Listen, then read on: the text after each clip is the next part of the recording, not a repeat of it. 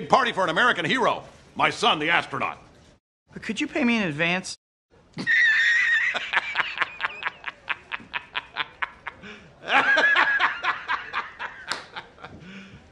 You serious?